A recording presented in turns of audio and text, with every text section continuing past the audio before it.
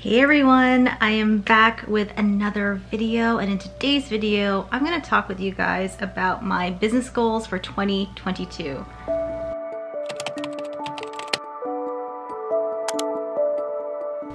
For those who have been following my channel for quite some time, you will notice that my background is completely unrecognizable and unfortunately I am not filming from my new home that I purchased in Calgary.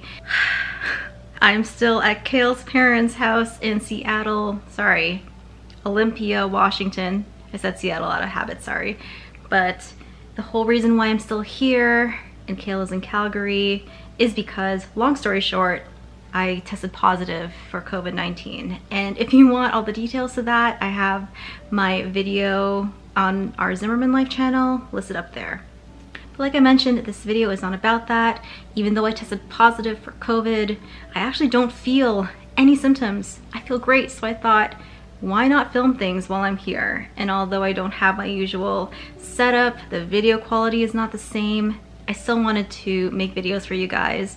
And even though 2022 is starting off really rocky, I think this is a good way to put the right foot forward by thinking ahead to the future and talking to you guys about my goals for my channel, my business, for, for all of that. And hopefully those who are in the same spot or those who are a few steps behind or those who are a few steps ahead can relate to the goals that I'm going to talk about because all of these relate to the struggles of owning a business. So if that's something that you're interested in, keep watching.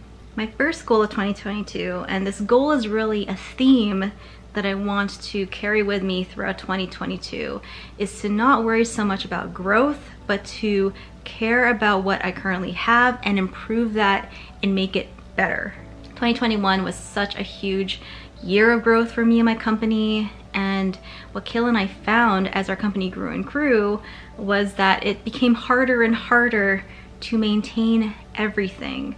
I would really like this year to be a year where I scale down, focus on what's important, and for those things that I've decided that are important, I make them as good as I can possibly make them before I move out and venture into other things. A huge example of that would be my YouTube channel.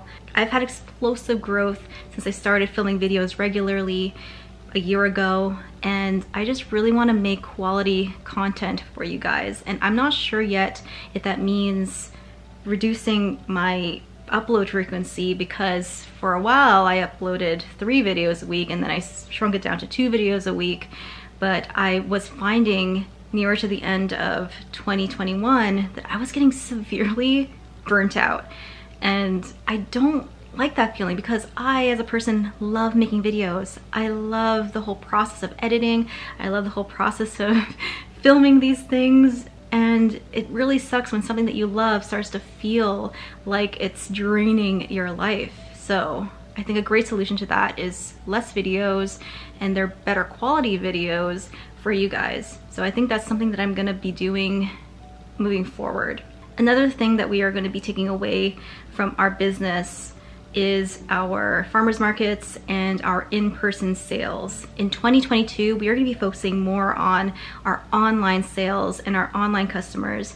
With this YouTube channel, it has really opened up our business to a global and nationwide customer base. And these are the people that we wanna really be able to serve better because that's something in 2021 that I feel like I didn't do the best that I could do at. And the reason was because I had spread myself so thin. And with us leaving our customer base in Midland, Ontario and moving to Calgary, it only makes sense that we would focus on our online presence, on our website, on our social media, on this channel even more so because we would have lost that local customer base. We have lost we would have lost the farmers markets, the events, all of that stuff. And even though we really enjoyed doing those things, especially Kale, I think we are both finding by the end of 2021 that it was certainly causing us to be really stressed out. Our stock always felt like it wasn't enough and we were always having to make more and more and more and eliminating that part of it, it will reduce the amount of income we're making from the business, but it will also allow us to spend the time that we need to on the parts of the business that we really want to improve.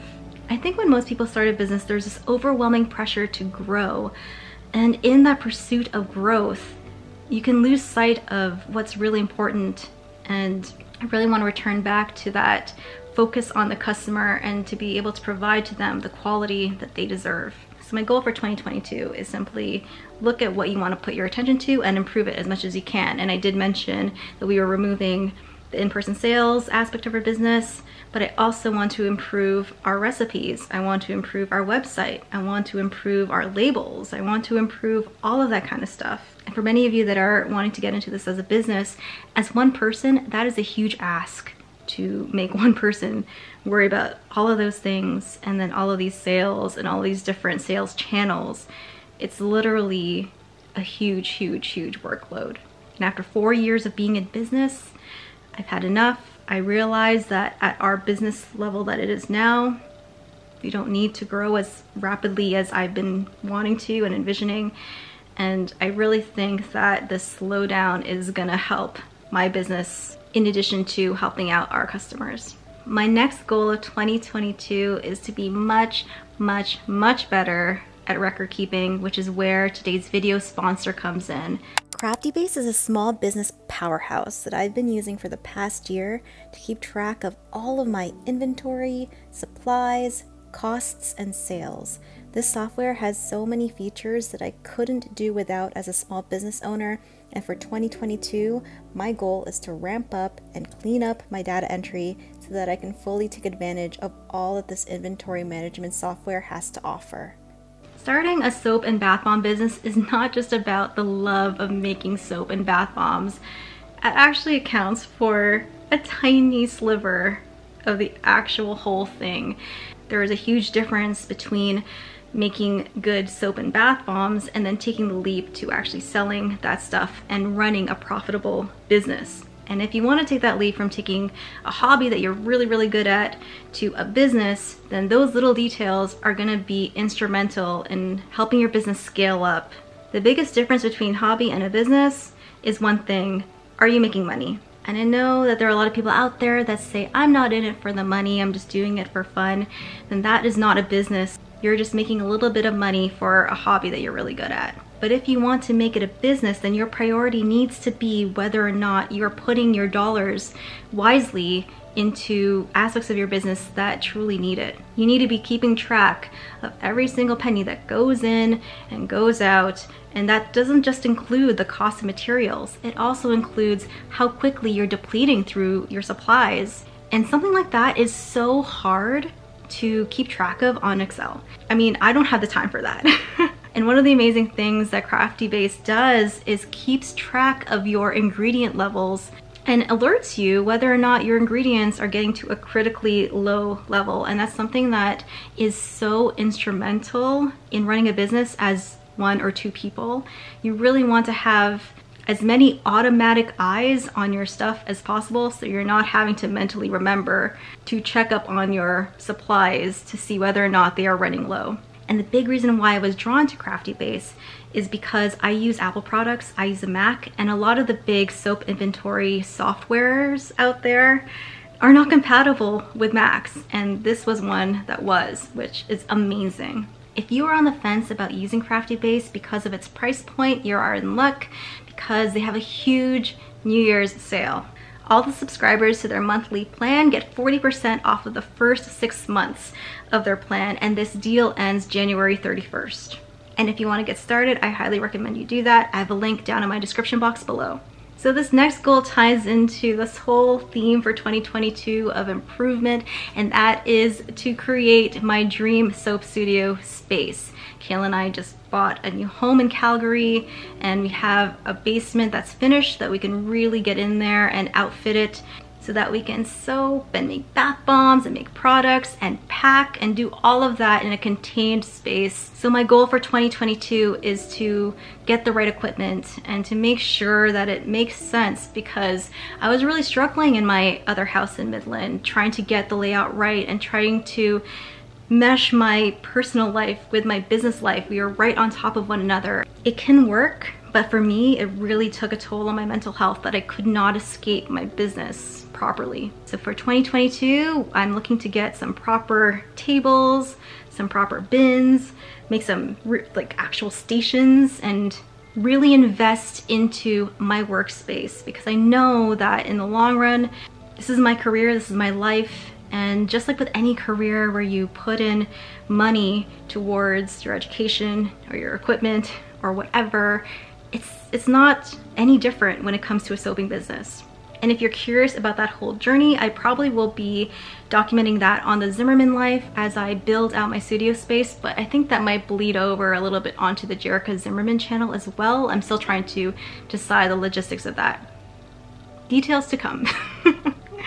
And I think that's it for this video. I am so sorry about the quality of this video. The lighting is not the best. I probably have become blurry and sharp in and out here and there. I'm sorry about that. But as rocky as 2022 has begun, I really, really wanted to get connected with you guys again. I have missed you guys. I've missed filming videos.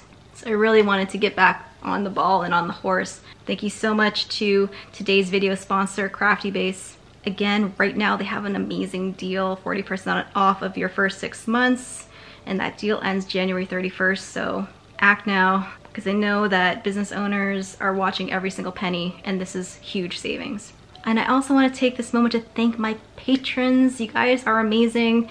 That's another thing that I want to improve in 2022 is my attention to that Patreon page. I already talked about this with my patrons, how we are going to make that Patreon page so much better with Patreon only content, Patreon only recipes, and just a greater connection to you guys, to me, through that page. So thank you to all of you guys who choose to support me and Kale through that. And speaking of my Patreon, my Bubble BFFs, you guys are the real MVPs. You guys are amazing and a lot of you are business owners and are making incredible, amazing things. I've listed a few of their businesses in my description box below.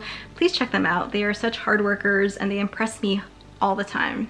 Thank you to everyone who is watching and I hope to see you guys in the next one. Keep making beautiful, amazing things and keep smiling and keep being awesome people. Bye guys.